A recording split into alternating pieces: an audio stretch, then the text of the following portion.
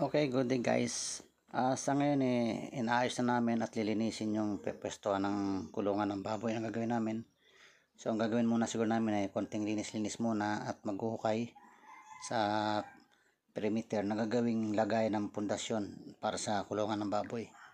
So, yan, medyo linis-linis lang muna kami. Tanggal-tanggal ng mga kuan, mga bato-bato at saka mga ugat-ugat ng mga ibang halaman na dating nakatanim dyan.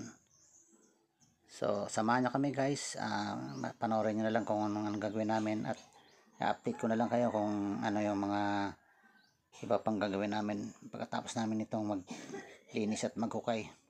Okay guys? So, bali ito magiging day 1 ng aming preparation sa paggawa ng kulungan ng baboy. Uh, bali, unti-unti lang namin to gagawin. Hindi naman namin tong papaspasan ng paggawa. So, depende yan guys sa magiging kwan progress ng kwan kasi minsan mainit o kaya medyo hindi pa naman ganong minamadali dahil hinintay pa yung uh, darating na ano ibang materyales.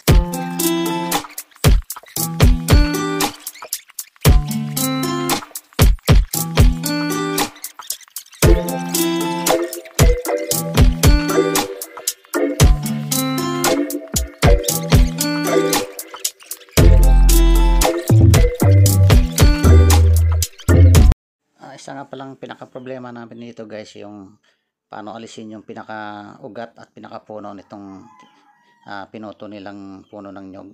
Yung katawan niya nakita niya sa background pero yung may natira yan ng pinaka ugat niya yun ang pinaka mahirap daw na parte kasi matigas yung ugat maka, makapal at saka talagang baon na baon sa lupa. So mangyayari dyan gagawin namin unti-untiin lang namin sisiga-sigaan namin lalagyan namin ng mga panggatong yung pinaka natirang ugat mga puno, pinakapuno para maging malutong siya pag nasunog na siya. Madalang siyang lagariin ng kwan, chainsaw tsaka o kaya unti-unting palu-paluin na lang siguro ng mga ano ng mga palakol o kaya kwan yung piko para unti-unti siyang uh, matanggal sa pwesto. Kahit hindi na namin masyado talagang kunin yung pinaka ilalim na ugat tatakpan naman ng semento yan ang pinakasahig ng ano ng kulungan. So sana mabawasan namin kahit uh, maplat lang namin para hindi naman siya sagabal sa kulungan. So yan guys papakita lang namin sa inyo yung gagawin namin pagsiga muna. At abangan nyo lang guys mga susunod pang mga karugto na gagawin namin dito. Uh, para magiging series ito hanggang sa mabuo namin yung kulungan ng baboy. Okay guys. Silaban. Silaban namin to para unti-unti. Unti-unti yan mau Hirap kasi yung ano yun to eh. Tigas yan. Tigas. Kailangan sunog-sunogin siya ng paunti-unti. Katulad nito guys. Yan. Pusa sa mapuputol. Pag uh, sunog na yung parte na yun, madali na siyang ano yan, putulin. Kahit paluin na lang ng mga kanya na palakulo ito. Yan. Ito, nag-start na rin kami ng hukay para pa sa ano. Yan nalagyan ng hollow blocks. Pinakapundasyon.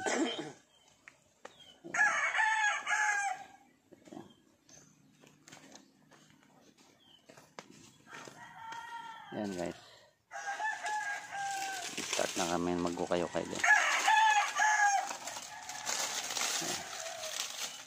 nalagyan ng pundasyon ito konti-unti lang hindi um, naman minamadali. Konti-unti lang. Ayan.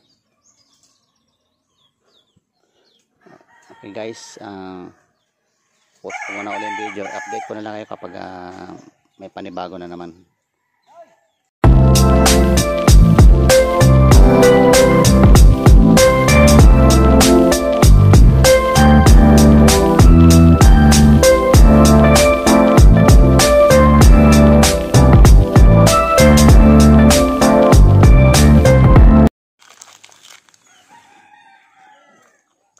Merienda muna kami.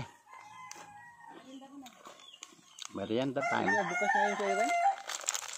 Mm. Sama yung sa'yo ito. Ah, wala pa, wala pang bukas. Wala wala.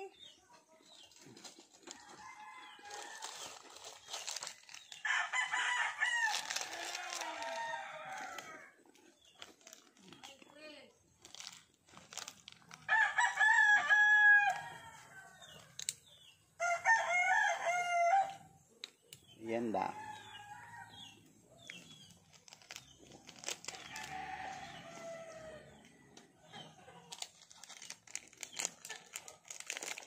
May tuko pala siya. Tuko. May tuko pala rito.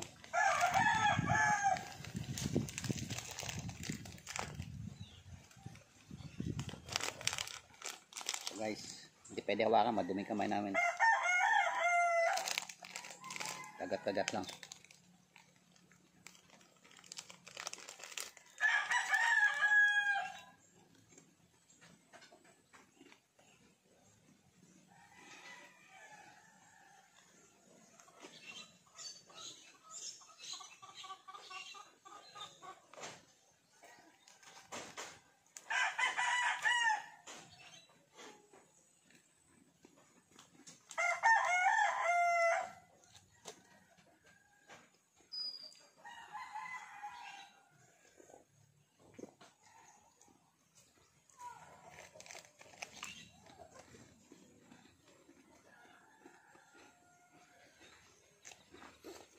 Merenda muna kami guys. Update muna kayo. Guys, ah, bukas naman daw ulit. Tutuloy. Pahinga na muna daw kami. Bukas naman daw ulit. Okay. Ayan. Na. Ka uting uwan? Pilit balik doon. Mayroon ka gagi. Kaya magpilit tayo. Pala ni mo. Halos balik-balik lang kayo. Pilit pala. Balik ka na. Pilit-pilit man.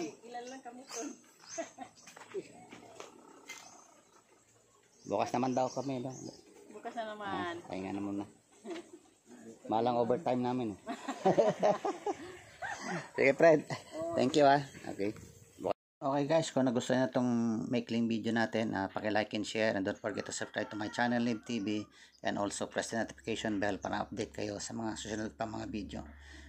Abangan nyo na lang guys yung karugtong nitong video para sa ating day 2 ng preparation for kulungan.